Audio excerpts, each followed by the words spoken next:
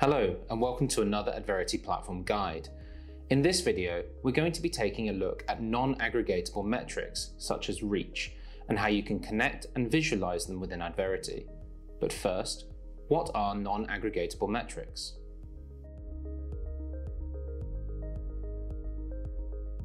A non-aggregatable metric is a quantitative value that can't be summed or averaged. This is because this value depends on a more granular level of data that is not given. A few examples of non-ag metrics include reach, unique impressions, followers, inventory, or calculated KPIs such as CPC and CTR. As a result, non-aggregatable metrics can only be displayed at their given granularity level, Otherwise, discrepancies will be generated. For example, the daily reach metric shows the number of unique users who come in contact with your ads each day. It does not make sense to add up daily reach in order to get your total weekly reach, because some people could come in contact with your ads on multiple days during the week.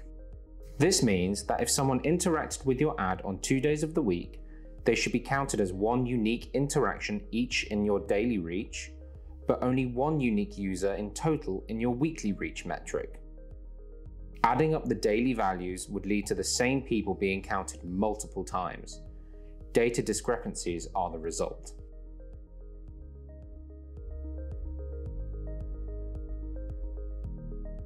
In this video, we'll show you the best practice for collecting and visualizing non-aggregatable metrics using two sample data streams. Let's say you want to visualize the daily reach of your campaigns and the monthly reach of your accounts. When collecting non-aggregatable metrics, make sure to fetch data using the same level of granularity that you want to visualize your data in. For example, if you are looking to visualize daily reach by campaign, make sure to set up your data stream configuration to include campaign names, dates, and reach. Then schedule your data stream to fetch the data at the same time every day. Let's check out the data extract we get when we run a fetch using our example data stream. You can see that it includes only the data we need for the planned visualization. If you are looking to visualize different levels of reach granularity, remember to set up a separate data stream for each one. In this example, we're fetching data for daily reach by campaign with the first data stream and monthly reach by account with the second data stream.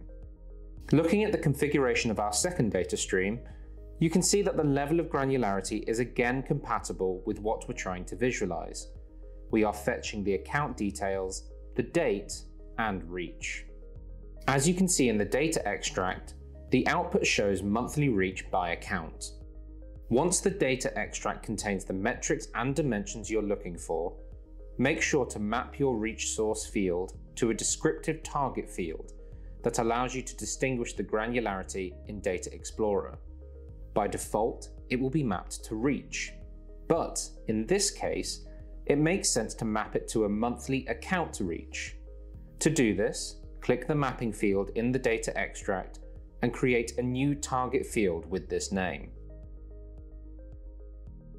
Don't forget, you need to reload the data into Adverity data storage to apply the data mapping changes you've made.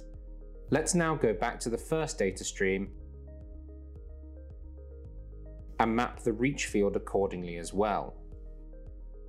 In this case, it makes sense to name it Daily Campaign Reach. Let's adjust the data mapping in the data extract. If you want to learn more about data mapping, watch the platform guide linked in the video description. Again, you need to reload your data because you made changes so that the data is labeled correctly in your destination. You could also do this by pressing the refetch icon in the data stream overview. In this example, we're loading data into Adverity data storage and visualizing it in Data Explorer. Let's navigate there by clicking Data Explorer in the sidebar navigation menu. If you haven't worked with Data Explorer yet, don't forget to check out our video guide.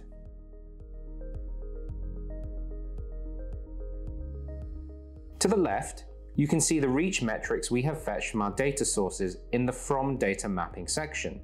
Monthly account reach and daily campaign reach are displayed as two separate reach metrics because we named them accordingly. Now let's say we want to visualize last week's reach data by a specific campaign. We'll start by setting the date range for our visualization. We want to look at the data from the past seven days, so let's select that. Next, we need to decide which dimensions we want. We want to look at daily reach by campaign. We can select daily from the date and time drop down here. And next, we need to add our dimensions and metrics. So let's add campaign name and daily campaign reach for this example. As you can see, this gives us the various campaign names and their respective reach values. To filter for a specific campaign, click the campaign name dimension and then the filter icon. This allows you to select the campaign you'd like to see the data for. Let's select wedding cake for this example and hit apply. We can now create a visualization based on this table. First, we create a visualization dataset, which just means selecting the specific data in the table we want to add to a visualization. In this case, let's add our reach data by clicking on any value in the reach column. If you hover over the options in the pop-up menu, the data highlighted in green is what will be added to a new visualization dataset. In this case, we want daily by campaign, so that is what we will click. And now we have our reach data over the past seven days represented in a nice bar chart. We could change this to another type of chart in the settings.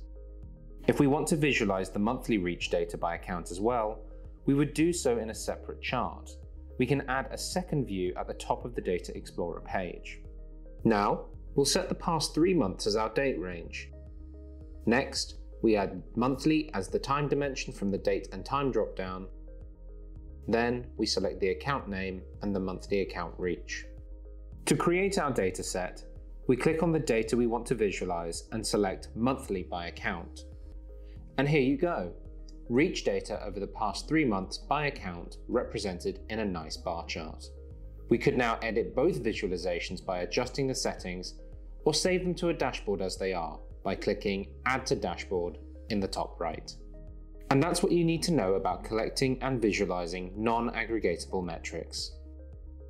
For more information on non-aggregatable metrics and documentation on Adverity's Data Explorer, be sure to check out the Adverity documentation.